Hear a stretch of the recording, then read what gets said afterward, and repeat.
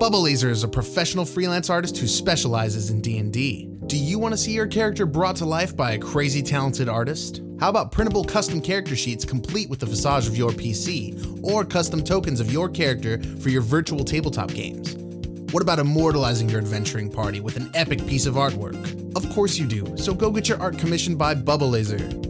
Bubble Lazer is the official artist of the characters of Super Quest Saga, and Will, myself, your special guest Jake, and friend of the show Josh Freeland all play with her magnificently designed custom character sheets while we're recording. You can reach her at bubblelazer.com, Facebook, Instagram, or on Fiverr.com. Just search for Bubble Lazer. That's Bubble Lazer, one word, and laser's got a Z. Hey everybody, welcome to the Dungeoncast. I'm Brian. And I'm Will. This is the podcast where we talk about everything Dungeons and Dragons, from the thickest thickets to thirsty thri-kreens. And today we're talking about Tharizdun.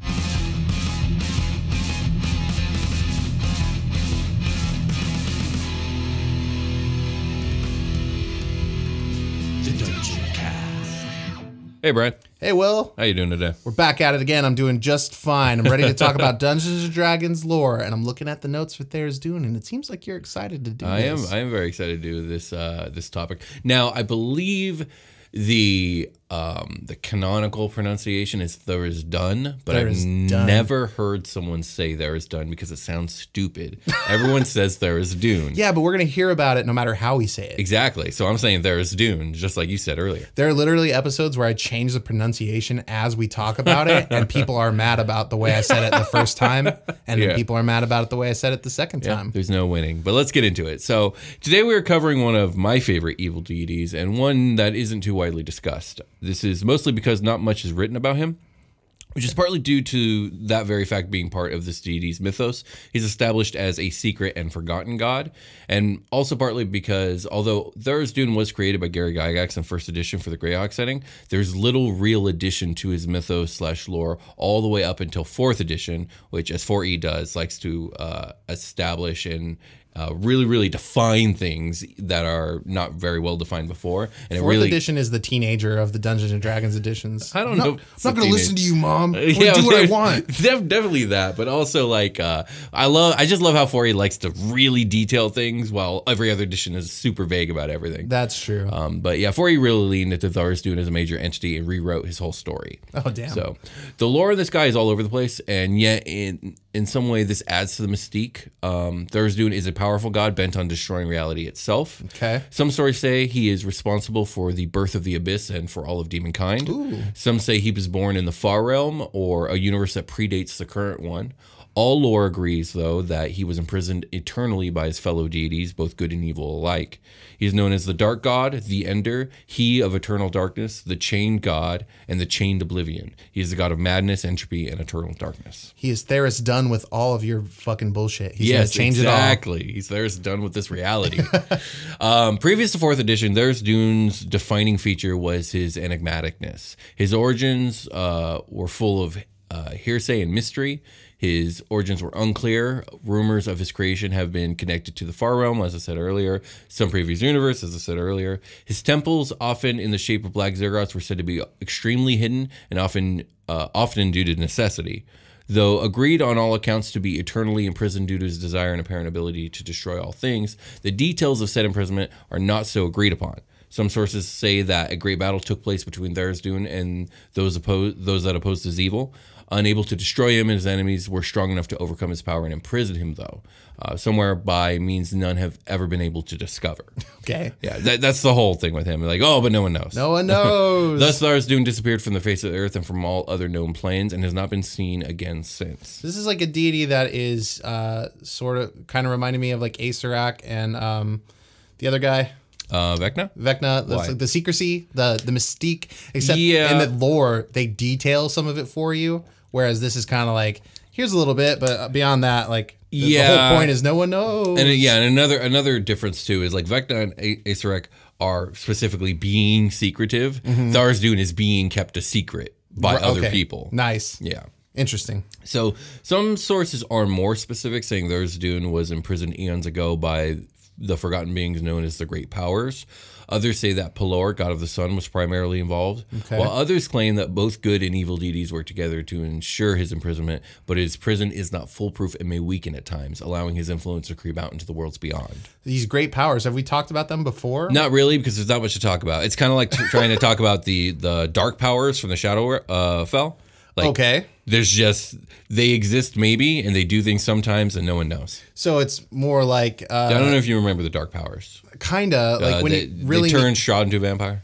yeah, it, when you really need something to happen Yeah, uh, in your campaign and you don't know what to chalk it up to, there are the great powers. yeah, exactly. Is that kind of what we're looking at here? Same Kind thing with the dark I'm sure maybe they're more detailed in Greyhawk lore that I don't know about because I'm not a Greyhawk person. So they were they were like, we need to write uh, Barovia, but it needs a bad guy. Um, okay, dark, Dark powers. Yeah, exactly. Welcome, to, welcome, Strahd, to the campaign.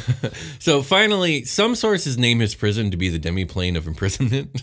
Okay. Which is hidden somewhere in the depths of the ethereal plane, uh, resembling a swollen crystalline cyst nearly a mile in diameter. All right. The ethereal substance surrounding the demiplane boils with the dreamscapes of Tharizdun's worshippers and others whose dream who dreams the dark god invades. Whose dreams the dark god invades. I see, He yeah. invades people's dreams. He's kind of like Freddy Krueger in that way. I Freddy. Krueger or uh, Darkrai. Sure. Or Darkrai. Yeah. It's actually a lot like Darkrai. Tharizdun is Darkrai. Darkrai is Darkrai. Within the pre- oh, go ahead. Uh, nobody knows where he came from. Do we know where Darkrai came from? I have no idea where Darkrai came Nobody from. knows. Nobody there it knows. is, Yeah, and everybody's it is. keeping it a secret. Like I have a dark Pokemon. Okay, go for So it. within the prison, Tharizdun dreams of a multiverse where his goals succeeded, where he destroyed all of creation and rebuilt it in his own foul image. Dope. The, the binding magic that holds him is less aimed with preventing his escape, which apparently he could accomplish with ease should he ever discover the truth of his false dreams, but instead to prevent any outside source from informing him that his dreams are false. What? okay. Now that's just that lore. Like again, there's other lore that says other things too. Okay. But that's that's one. Processing this still. I know it's a lot.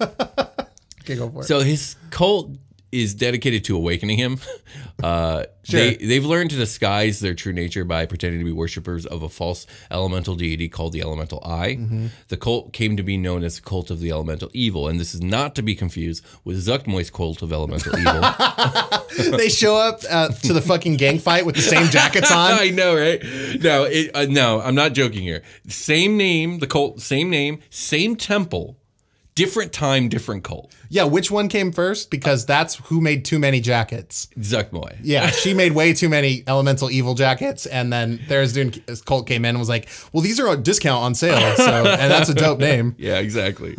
no, I know this is confusing, but let's move on. I want a biker jacket that says elemental evil on it. Yeah, and it has a big eye on it. Actually, I would buy that. That's pretty yeah, chill. That'd be cool. Okay, so 4E Blessed Soul comes at the topic with hard to find facts and overly detailed knowledge of the rise and fall of the Chain God. The story of Tharizdun in 4E starts with the Obyriths. Uh, we talked about them in the Abyss episode. Yeah. The original demons in most D&D lore. In 4E, they are a little different too. And um, if you're ready, let me tell you the tale. Story time, story, corner, story corner. little story corner. Get ready, everybody. let's go, let's go. Music stinger. The more you know. So, the oldest myths and legends tell of a race of vile entities that once presided over the remains of a dying universe. These beings of evil incarnate were known as the Obyriths, and they had ruled since time immemorial. As their hunger drained their realm of all life and power, they knew their days were numbered. So it was that in the last age of their race, the Obyriths breached the barrier between their realm and another, pushing a shard of uttermost evil through the fissure between realities. With the power of the shard, they hoped to corrupt the most powerful beings of this new realm. After bending and eventually enslaving these creatures to their will, the Obyriths planned to exert their control over a new realm, reshaping it in their own vile image. Eons passed as the Oberons slowly died. When only a handful of their kind remained, the plan they had enacted so long ago finally came to fruition. A deity hungry for power found and seized the shard of evil. This god, Tharizdun, found his mind and spirit open to the Obyriths trapped in their dying darkness. The link to those foul beings corrupted him in an instant, driving the deity to madness. But the Obyrith's plan to seize the celestial realms controlled by Tharizdun and his kind was met with resistance and a twist they had not anticipated. The Oberons demanded that the deity plant the seed of evil within the astral sea, promising him total dominion of that realm in exchange for his fealty. Even within his madness, however, Tharizdun recognized that his fellow gods would turn on him before he could fully seize the power the Oberons promised. Instead, the mad god traveled to the furthest reaches of the cosmos, planting the seed of evil in the primordial expanse of the churning elemental chaos, mm. the realm of the fallen primordials from the Dawn War, which he had hoped to seize as his own. So the planting of the seed of evil in the elemental chaos unleashed power like that realm had never seen before. Uh, the nascent evil of the Oberon's realm flared one last time as black flame exploding through a yawning vortex that formed where the seed was cast down. Me. Forced, forced. I just see like this like earth elemental. Neat. Nice. Forced to act even though their plans had gone astray, the Oberons allowed themselves to be drawn through the vortex as their own realm was consumed and finally destroyed. The Oberons had seemingly won their prize, a realm in which their evil could be spawned anew. But as the tear in the fabric of reality closed, Tharizdun betrayed and faced off against his would-be masters. The evil and madness of the Shard blessed Tharizdun with great power of his own. The vortex that formed around the Shard of Evil was the abyss, growing within the elemental chaos, even as Tharizdun and the Oberons fought to control it. You're like, oh fuck, oh fuck. In a battle that raged for eons, Tharizdun tore through the stuff of the nascent abyss, following the shard of evil and calling forth minions from its burgeoning substance. The first demons howled in fury at their creator's command, throwing themselves at the Oberons with wave after wave of, su- of suicide.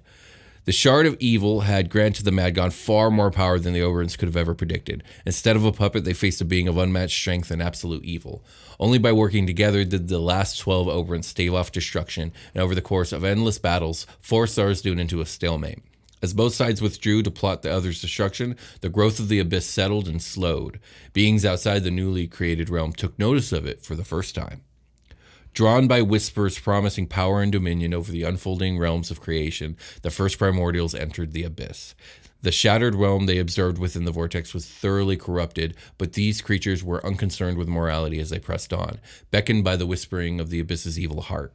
As they explored further into the desolation, they came upon a great blood red ocean, and they knew they'd reached that heart at last, floating there in the shallows of the nascent. You know, this story really likes the word nascent, and I don't think I've ever heard, uh, heard that word used before. yeah, I, uh, I would have Googled it because I was like, hey, I should jump in and read some of this for Will. Yeah. I don't know what that word is. I'm getting context clues though. Yeah, shallows of the nascent blood sea. The shard of evil called out for one strong enough to step forward and claim it. These primordials became the first of the demon lords.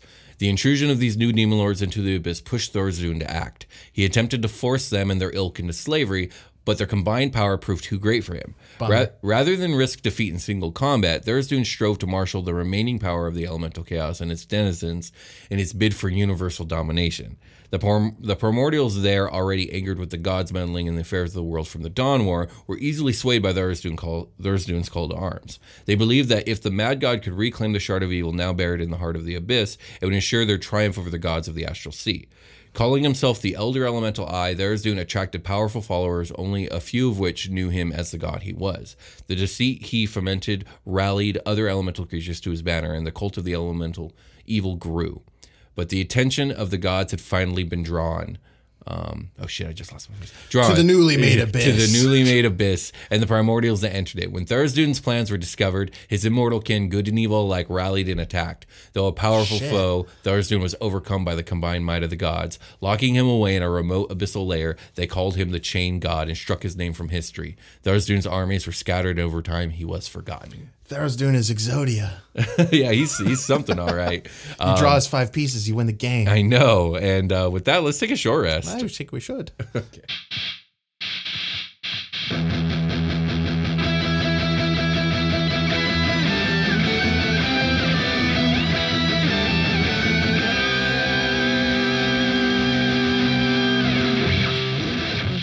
everybody, be sure to check out Super Quest Saga, a future fantasy 5th edition D&D actual play podcast homebrewed and dungeon mastered by yours truly, me, and set in space. And I play in it, along with your special guest Jake and friend of the show, Josh Freeland. you can find it on YouTube, iTunes, or anywhere else you can get your podcasts. Super Quest Saga!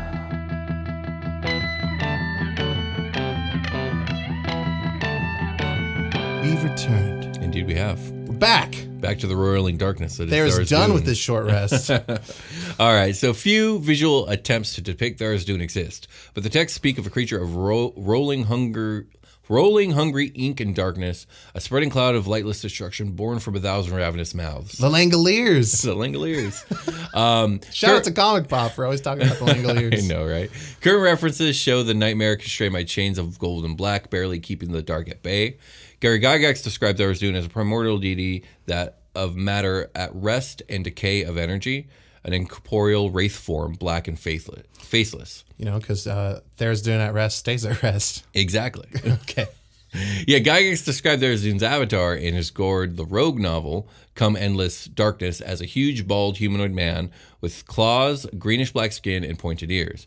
But officially, none truly know, for contact with the, with the deity brings insanity and death, and no accurate surviving descriptions or depictions of him remain. That's a really Halloweeny, you know, like kind of Yeah, old school very, goblin. very uh, cheesy. Yeah. yeah, like green skin. And there's know. a lot about uh, like the art and depiction of stuff in first edition that was very, very cheesy. Yeah, I've seen some of the drawings. You Mm-hmm. know, like uh, like very uh, gothic in- inspired stuff, Mm-hmm, or like classic inspired stuff, like Mary Shelley, or um, Mm-hmm.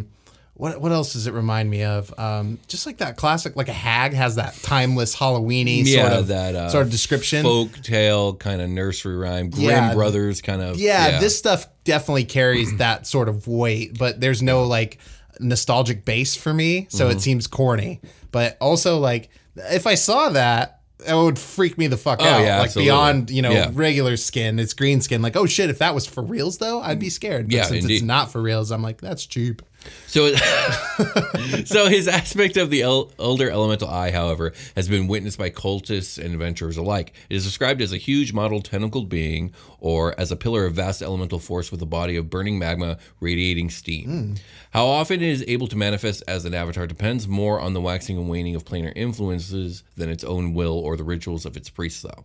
Has been known to manifest itself as permanent phenomena in its oldest temples, including energy draining tentacles emerging from altars and glowing golden eyes that cause blindness, madness, prematuring age, or transforming into eggs that hatch into berserk salamanders, which is very different from those first four uh, effects. Yeah, th- I like this idea. I might blind you, turn you mad, make you old, or turn you in an egg that hatches into a berserk salamander. I'm stuck on this waxing and waning of the planar influences, Yes, like a I like like, um, a divination wizard or like these priests. Like reading those charts would be kind of cool. Yeah. They're like, oh fuck, the fire plane is really close right now. Right, exactly. Fucking the elemental plane of air is in retrograde. We're all fucked. I like that. I like doing like a an almost astrology type thing with the planes. yeah.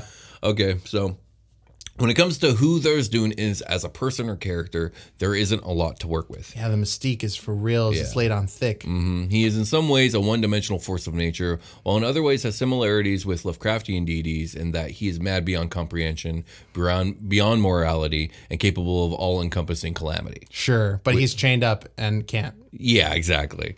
With every fiber of his being, Tharizdun craves nothing less than the unmaking of the universe, destroying everything, himself included, in the process. He he is darkness unending, less like a god and more like another world unto himself. Life and death do not exist within Tharizdun, only utter destruction and madness. Even the most vile and chaotic evil among the gods treat this mad god with caution. Yeah, because if he wins, he's gonna Kirby the universe up into his mouth, and then his body's gonna fold around his mouth. He's gonna become Mm-hmm. Yep. like a tiny little lip pile. Maybe Kirby is Tharizdun. the the Kirby skin where he's got like the black and white complexion with the yellow feet. That's exactly. Tharizdun. Yeah, exactly. His mouth gets way bigger though.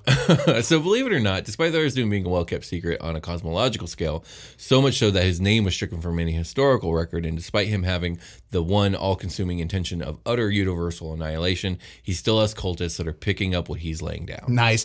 What are these historical records that he's being struck from? Are they like stone tablets or Well, books? the idea here is that he uh, was imprisoned so long ago; it's in time immemorial. So basically, whatever was around then, and then any word of him showing up, there are paladins and excuse me, orders that are dedicated to utterly annihilating them. Just fucking Templars going through the sacred original text, like "fuck Tharizdun." Mm-hmm. Yeah, ripping exactly. pages out. We can't. Yeah, that. we gotta burn this whole book, dog. I'm Yeah. sorry you took so long writing it. It's got a lot of Tharizdun. I can almost like, see it getting crazy. It's like, oh, we found a book about there's Dune in this temple. We got to burn the whole city to the ground. Oh, Oh, yeah, I could see it going. Who read this book? Yeah, who read they, this they look at the library checkout log. They're like, "Fuck, there's so many people." Well, they're all dead. Uh-huh. Yeah. So Tharizdun's direct worshippers are often insane. Their ultimate goal is to free their dark deity from his prison. Mm-hmm. Uh, like his lay worshippers, many of Tharizdun's priests are mad as well. And though and those who are not mad believe that they will reap great rewards and privileges for their aid in freeing him. They hold the optimistic and idiotic belief that he will spare his loyal servants when he destroys the multiverse. Like, why would you think that? Why? Yeah, Why would you think that? I mean, according to this, he explicitly wants to unravel all of All it. But they're in, they're insane, and that's what an insane person would think. They're like, Right. I'm going to be chill when he destroys everything. right, right. I'm just going to be floating in Yeah. whatever is left. You know who's a Tharizdun worshiper? Um, Cyrus from uh, Platinum. Pokemon thought- Platinum. I thought he you wants were to gonna- undo reality. I thought you were going to call out like a rival YouTuber or something. yeah, that other podcast. Fuck that other Ah. podcast. Those Tharizdun worshippers. no, we like all you guys. Yeah. we got some people to shout out. Don't let me forget. Yeah, I won't. Okay. So all of his clerics are extremely secretive and trust only fellow cultists. His temples, often in the shape of black ziggurats, are usually hidden due to necessity.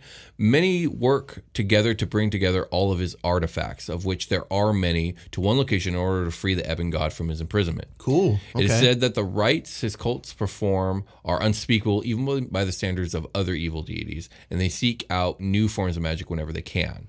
Tharizdun is also knowingly worshipped by non-human aberrations such as aboleths, neogi, and Grell. Now, the fact that his cultists speak, uh, like perform acts that are unspeakable by the standards of other evil deities, really makes me wonder because we talked about some crazy shit in the Zuggtmoy episode. and like Yeenoghu and like those guys. Yeah. Like, Well, to be fair, how- I guess they aren't is gonna- deities though; they are demons. Ah, yeah. That's true. I mean, they're like almost deities, right? they're they're kind of close. se- yeah. Like they're kind of close to minor deity, though. But if they're doing stuff that's so horrible and they're not even gods, Right? Yeah. I don't know, man. Yeah, how know. worse? How much worse can it get? Is unraveling the reality something I'm going to experience? You know, like is that something I'm going to feel? I don't know, man. I don't know. This know. might be the way to go. If it's going to end, Maybe this might this be is the, the, way, best way to end it. the, the best. Oh, apo- no, There's we're Dune's got the- converting. There's Dune's got the best apocalypse. So on top of this, many cults and individual cultists are unaware that the entity they worship even is Tharizdun. Unable to act upon the world directly, he dispenses his power from cover identities and aspects such as the Elder Elemental Eye, responsible for the infamous Temple of Elemental Evil.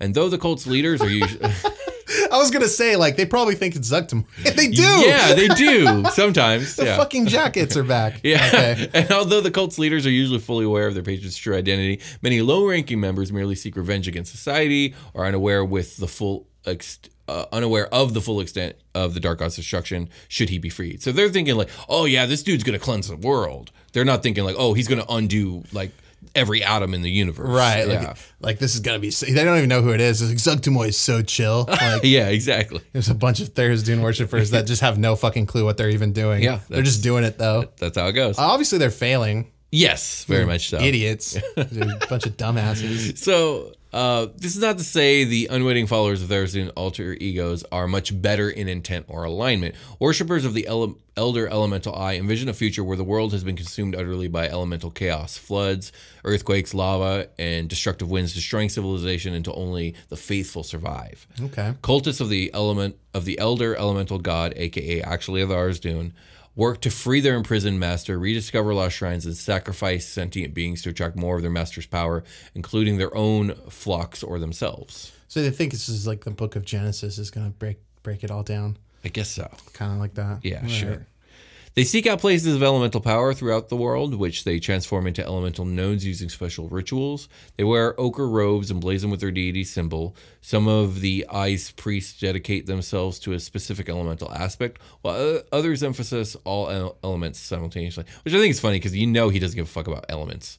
Like, like he's just like that's not his brand. But He's like, literally copying this brand off somebody else. Yeah, that those helps who- him be mysterious. Right. Those who worship the air aspect trim their robes with white. Those who worship earth aspect trim their robes in yellow and wear amulets festooned with gems and precious metals. Those who worship the fire aspect trim their robes with red and carry jewelry enchanted with continual flame. While those who worship the water aspect trim their robes in deep blue and often carry small jugs filled with seawater. This is so arbitrary. I know. Yeah, you imagine dealing with all these guys and Yeah. then figuring it out at the end that they're all fucking This is dumb. all bullshit. oh yeah. man. Those forgotten temples of Tharizdun that survive are in dark underground places, kept freezing cold by ancient magic placed by the fanatics who built them.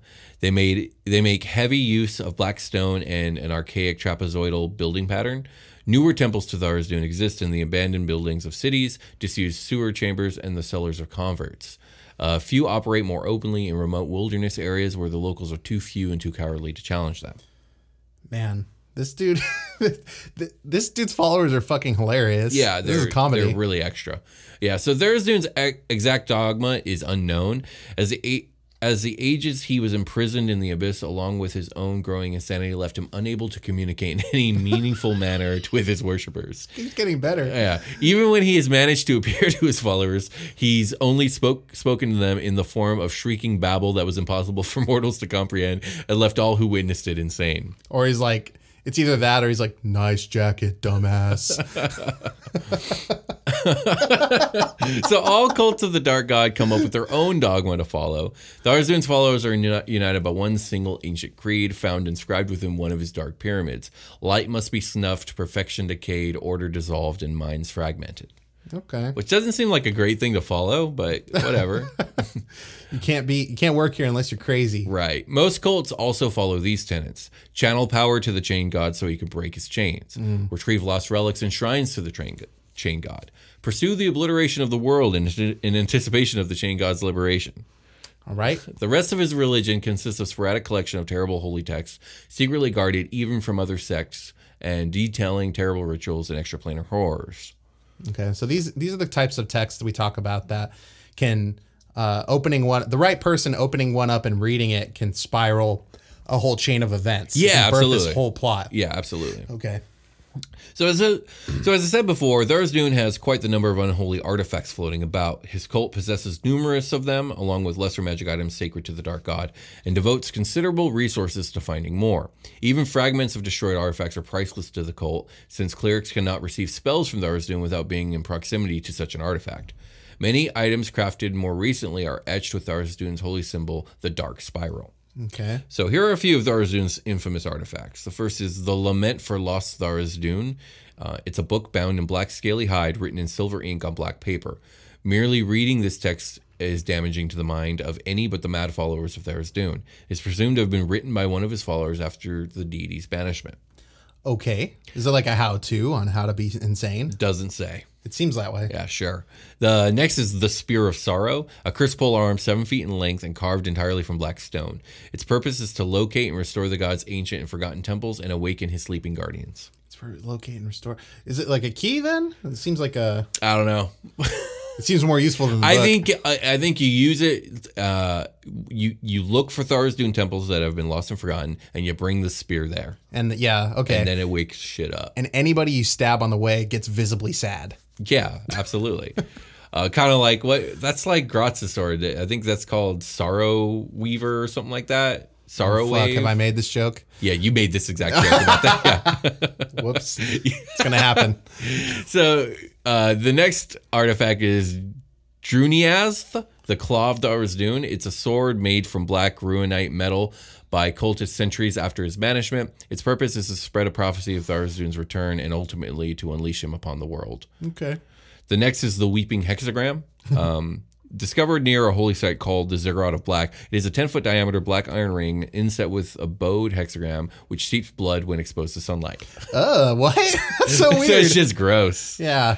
like, I'm gonna throw this one out, dude. It keeps leaking. Yeah. The next is the 333 Gems of Tharizdun, Okay. a collection of gemstones sacred to the Dark One, sacrificed to him by cultists in ages past.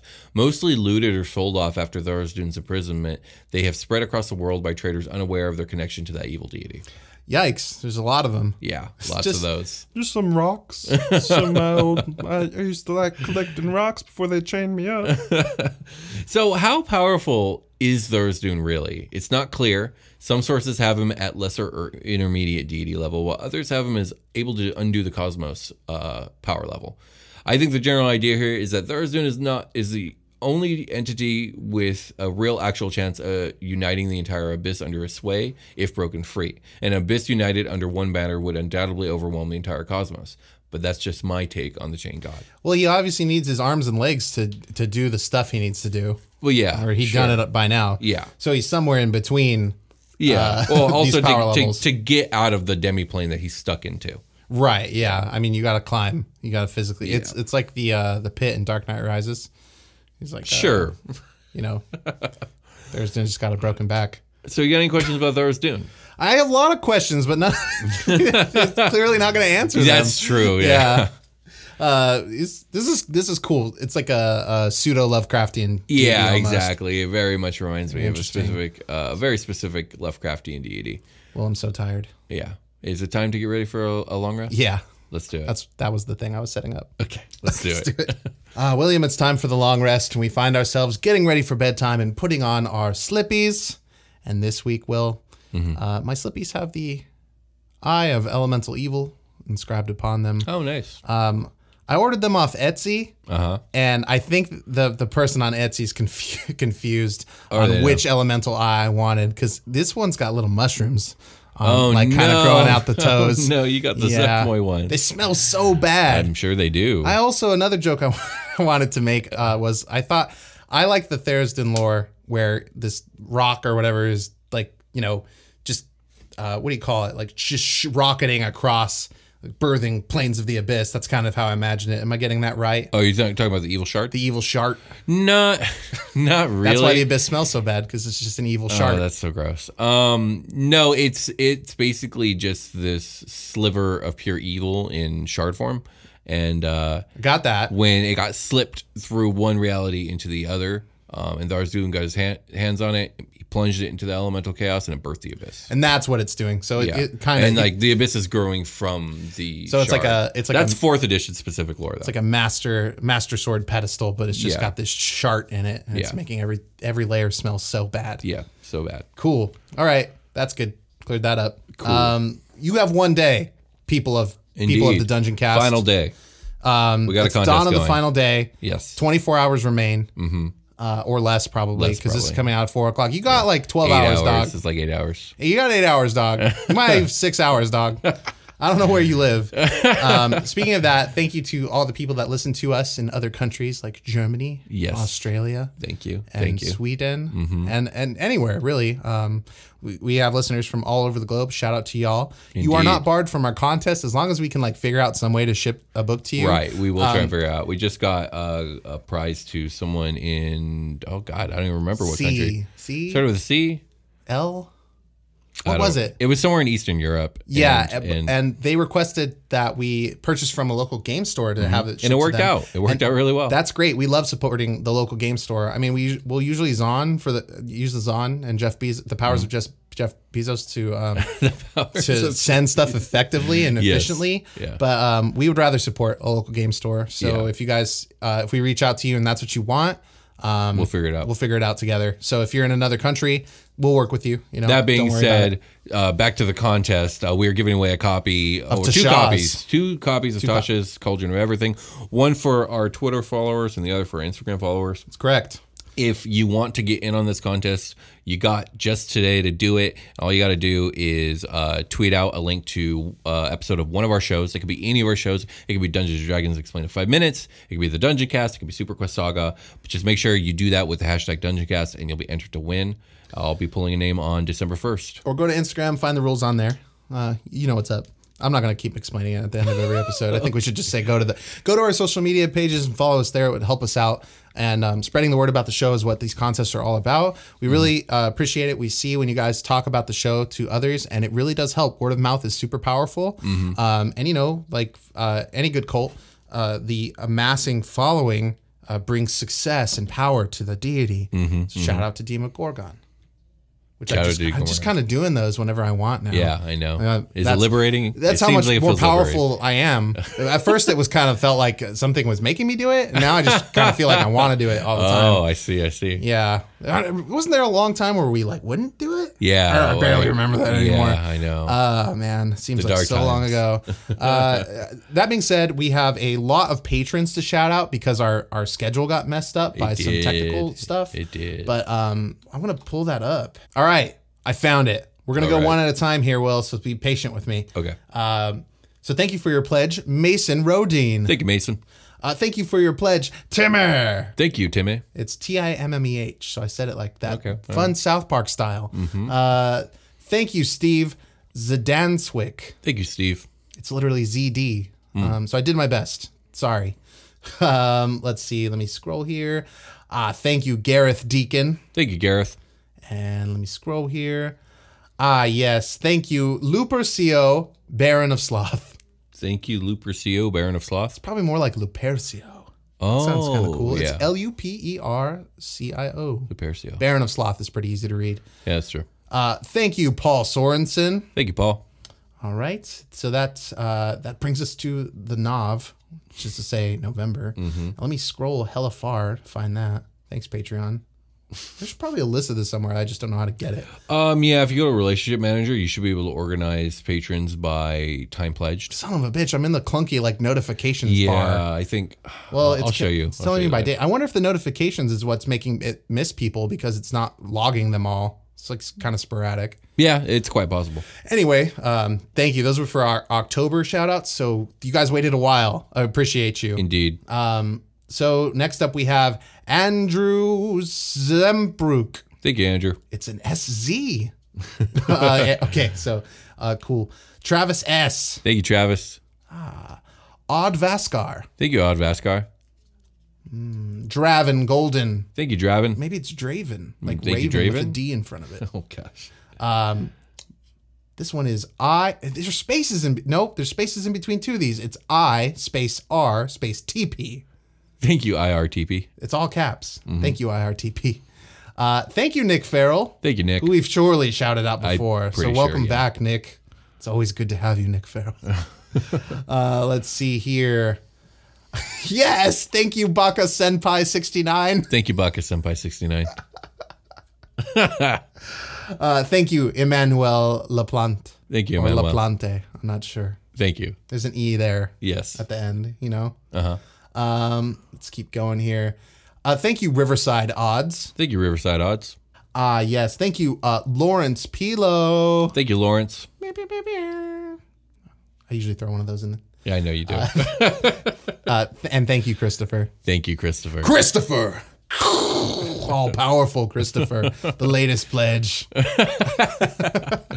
um, so let's talk a little bit about Patreon while we're here. And Yes. this is long anyway. Yeah. But um, you want ad free version of the show? We got you. Five bucks a month, baby. Come and get them early too. Mm-hmm, um, They drop in batches. You know, our, our show airs weekly. Yeah. We record in batches. You're gonna get the batch the earliest we can possibly get them to you. Yeah. So you get some dungeon cast potentially weeks early. Then you're gonna wait for everybody to catch up, and then you're gonna get a big chunk early again. Mm-hmm. Um, so uh, let's see what um, what else at at at, uh, at 10 you get all our other bonus content that's like an actual play you can listen to Mm-hmm. plus you're going to get a sticker if you put in your address you get a sticker sent to you of our pod- podcast thumbnail which is currently you're the giant it's about to change keep your eye on that uh, Mm-hmm. next is the $20 level you're going to get our exclusive mug which has just changed um, Mm-hmm. Yeah. it says indeed Yeah. The first of those should start arriving, I think, at the end of December or beginning of January, somewhere in there. pretty soon here. Um, and then after that, it's just icing on the cake for us. Um, we try to do some special stuff in there.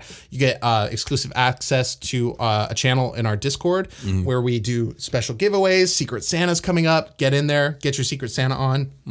Make sure you get that code uh, for the Discord, and then um, content drops into a uh, a Google Drive, so you can get episode notes and stuff like that. It's all really organized. It took a lot of time to do that, um, but we still we'll still drop most stuff on the Patreon feed. So I know there's like a special RSS feed that will load with ever whatever podcatcher you use. You should be getting those early drops. Those early episodes should just show up in your normal podcast feed. But go to ch- go to patreon.com slash the dungeoncast. Check it out. Um, supporting us monthly is you know, aside from telling people about the show, that's one of the best things you can do to help the Dungeoncast. Yeah. Um, it it really does make a difference in our lives and helps us grow and makes us feel like what we do is uh, is really like meaningful to people and impactful. That you guys are willing to support us and you know Mm-hmm. that's kind of stuff. So we we want to reach out and do stuff for our patrons as much as we can. Um, so that's pretty much the deal, man. Support us monthly. We'll do what we can to get content in there Mm-hmm. and to make you feel so special the way you make us feel so special. Indeed. Um, so thanks for powering up Demogorgon with us. Indeed. Thank you. Uh, we're gonna call it a game. Indeed, we are. We'll talk to you guys next week. Bye.